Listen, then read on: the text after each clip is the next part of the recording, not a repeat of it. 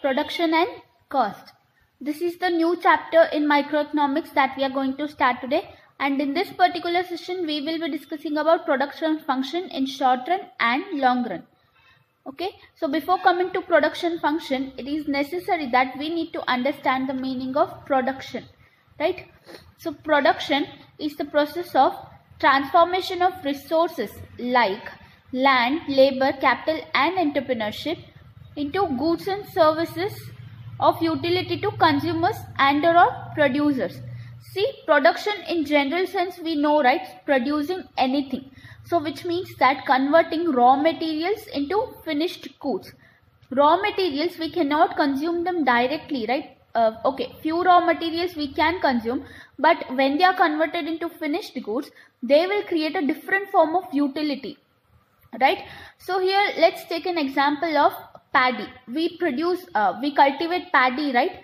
So can we consume paddy directly? No, right? It needs further processing, further production, then it will be converted into rice, which we can easily consume, right? So in order to consume rice, we want production. So production is nothing but using all the factors like land, labor, capital and entrepreneurship and converting raw materials into finished goods is what we call it as production okay? So then it will create create a different form of utility or it will satisfy the human wants. Okay? Next. Production function.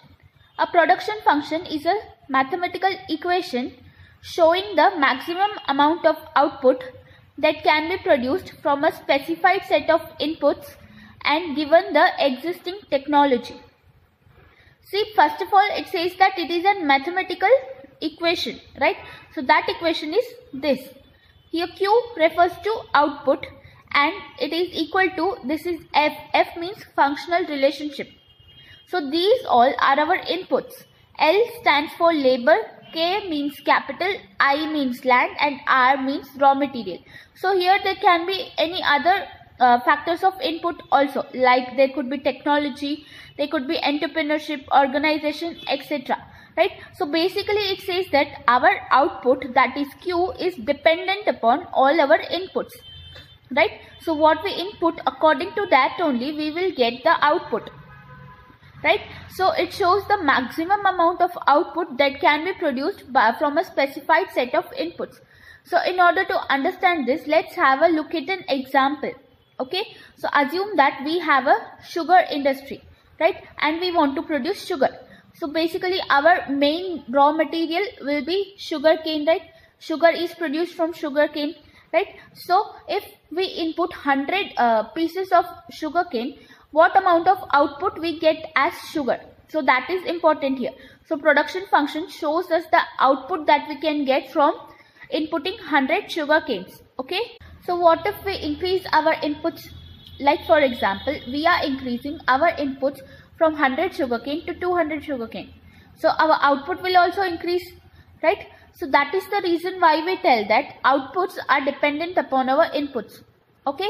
So here we also need to remember that our quality of outputs is also dependent upon the quality of inputs. Okay. So if you input cheap quality products, you cannot expect that you are getting branded or very high quality products, right? So this is what the production function shows.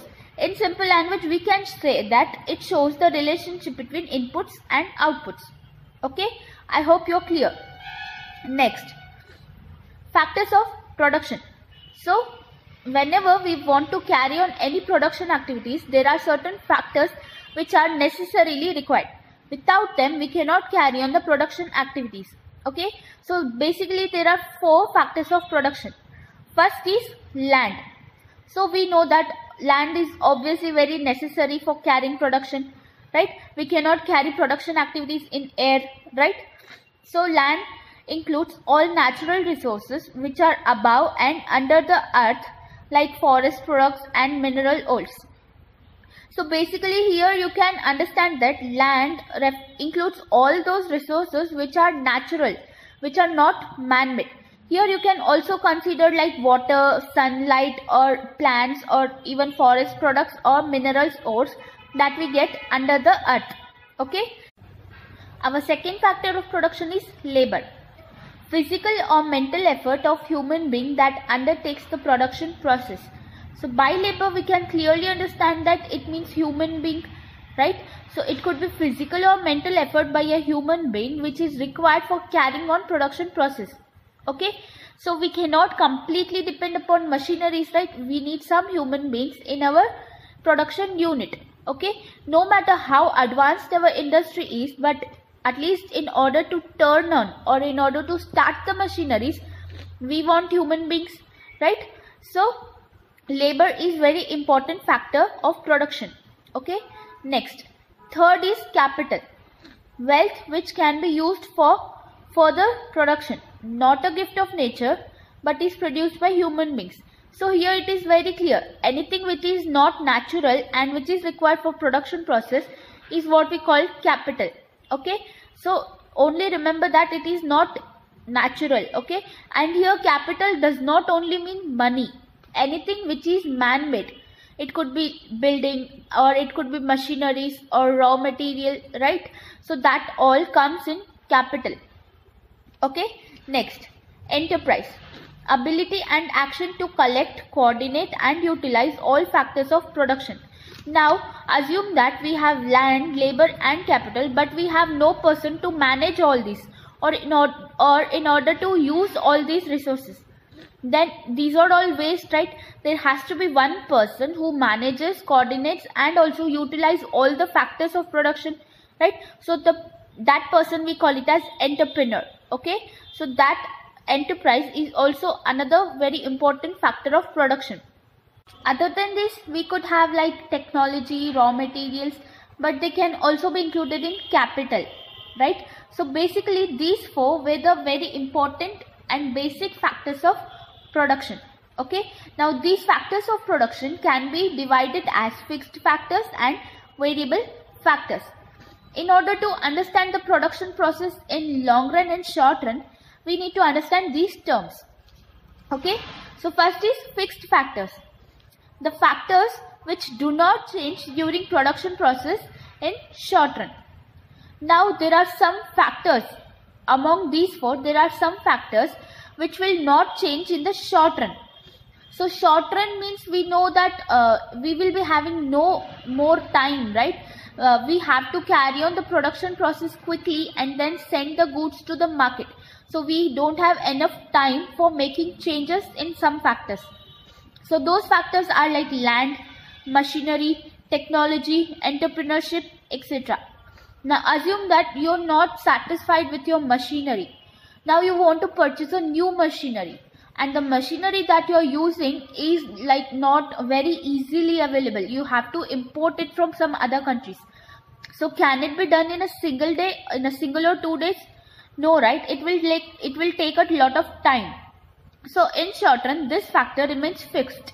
So similar to this we have land technology and entrepreneurship which cannot be changed easily right? So these are the fixed factors in short run. Okay?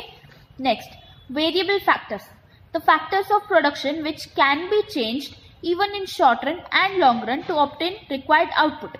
Now here again there are some factors which can be changed easily even in the short run like labor or raw materials. Now assume that you want to increase the production right you want to increase the output then you can increase the labor right so when you increase the labor, you can work more or when you increase the amount of raw material, our output will be more.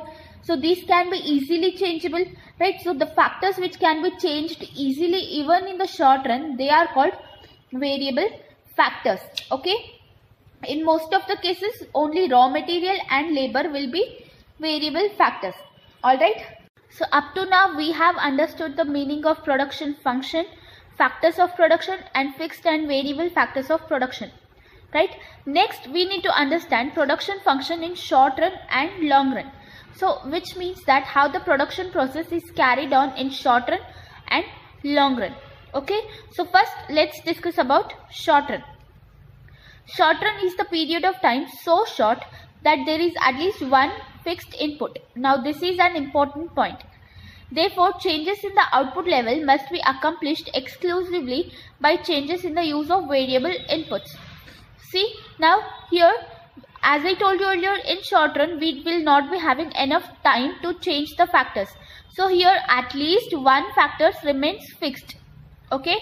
And therefore, if we want to make changes in the output or if we want to increase or decrease the production, then we have to make changes only in the variable factors. Right. So if you want to increase the uh, output, then you can increase the inputs as well. Inputs of variable factors only like labor and raw material right and if you want to decrease the output again you have to make changes only in the variable factors like again labor and raw material so as i told you earlier production function is an equation right so here the equation of the production function in short run becomes q that is output is equal to functional relationship of labor our labor remains uh, labor is variable factor right? It keeps changing. So labor and capital assume that here our capital is constant right? And land land again is constant and raw materials. Raw materials are not constant. They can be changed. They are variable factors. Okay? So this is what our production function equation in short run okay next production function in long run in long run, all the factors are considered to be variable. Hence, the desired output can be obtained by making changes in all factors of production. Now here in long run, we will have enough time.